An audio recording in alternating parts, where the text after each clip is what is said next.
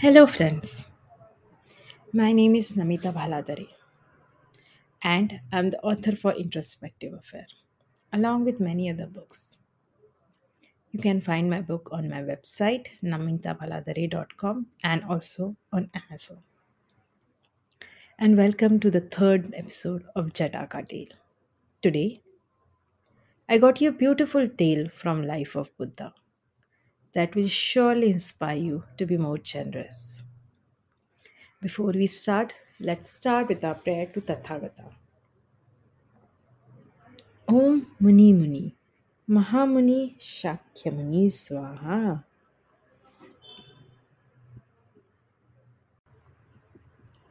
Let's start with our today's story.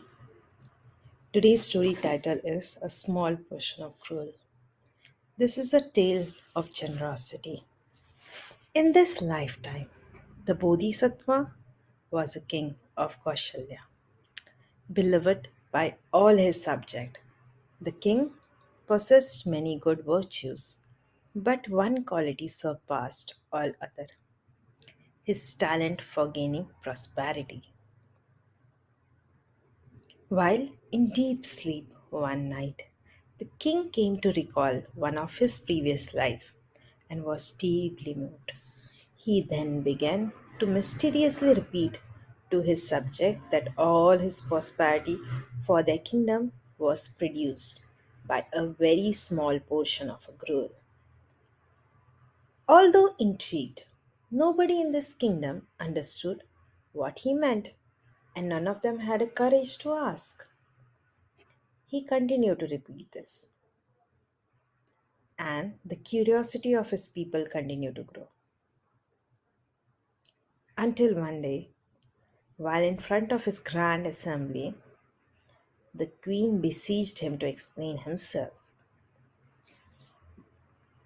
He stated that he recalled a past life in which he was a very poor servant. He remembered working hard, barely being able to support his family, and becoming entangled in feeling of contempt and sorrow. Yet, when he came upon traveling a group of monks, he invited them into his small, small house and offered them all he had, which was just a small portion of a gruel.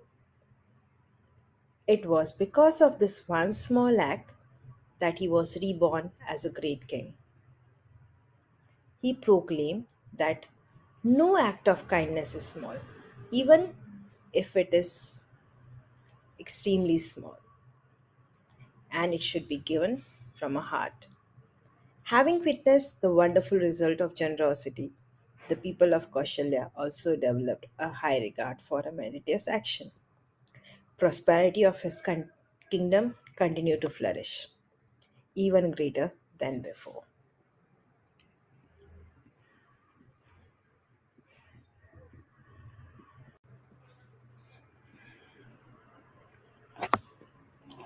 Buddha has described three group of people existing in the world based on their habit of giving. One who is like a rainless cloud,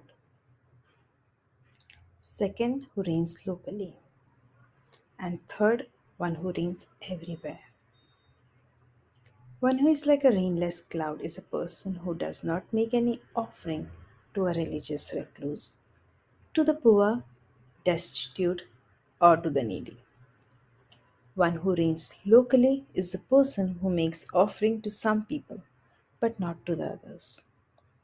One who rains everywhere is a person who makes offering to all these people. We should never underestimate the power of small gifts. Even if a person throws a rice ball in a village pond, thinking, may whatever animal live here feed on this, that would be a source of merit. What isn't given is lost. So, when the world is on fire with aging and death, one should give. We need to conquer our anger with lack of anger, bad with good, stinginess with a gift, and a liar with the truth. What miser fear that keeps him from giving? Is the very danger that comes when he does not give. No miser go to the world of devas. Those who does not praise giving are fools. The enlightened express their approval for giving, and so find ease in this world and beyond.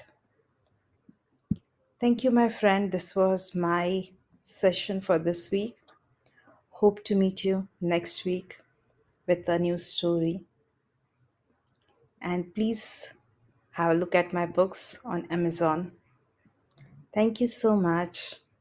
Have a lovely week ahead.